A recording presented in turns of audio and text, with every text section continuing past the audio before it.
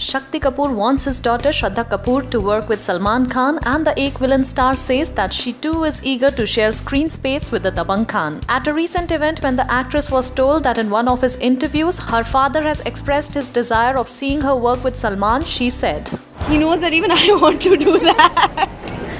so, yeah, my dad, was absolutely right." तो आप मतलब कोई इरादा है सलमान से मिलने का या कोई फ़िल्म डिस्कस करने का?